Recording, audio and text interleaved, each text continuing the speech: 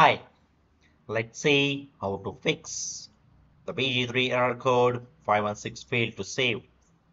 Whenever you get this kind of errors, that is Baldur's Gate 3 errors, you will see the screen like this.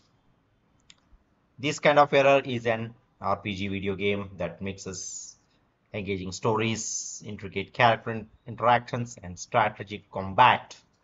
Like any software, it may encounter the errors that can hinder the gaming experience. And this kind of error, that is a BG3 error code 516, is a common problem faced by the Baldur's Gate 3 users. Full error message reads something failed like this failed to save game, error code 516. So let's see what causes the BG3 error code 516 failed to save. Based on the user reports, the error might be due to the problems with the disk space or saving the game while dealing with the merchants or the vendor screens.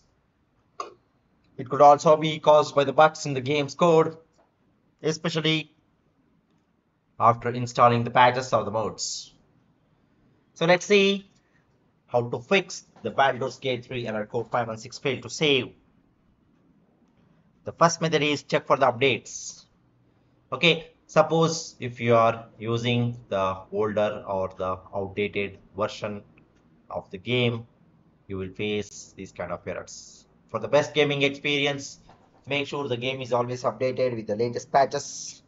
Check for the updates regularly and install them promptly when they are available. Okay, some of the steps to check for the updates in the Baldur's Gate 3. Open the Steam client, go to the library, find the BG3, right click on the game, properties, update, automatic updates, then close. The second method is clear space on your C drive to ensure smooth experience in the 3. Make sure your C drive has enough space for your game save files. These files can get bigger as you play and having the limited space can lead to the issues. Clearing the space will make your BG3 experience better. And the third method is change save location. If you want another way to fix the 516 error code in the Baldur's Gate 3 without clearing space on your C drive you can move your save files. In order to move open the command prompt with the administrative privileges. Execute the following command and the command is something like this. The fourth method is verify the game files. Verifying the bg3 game files could should resolve any issues caused by the corrupted or the missing files. Check out your Baldur's Gate 3 game files to see if the issue with the error code 516, the BG3 has been resolved or not. Some of the steps for verifying the game files for the BG3. Open the Steam client on your computer, right click on the library tab, right click on the BG3 and set properties. Select save files, local files. Click on verify integrity of the game files, wait for the process to complete. And the fifth method is uninstall and reinstall.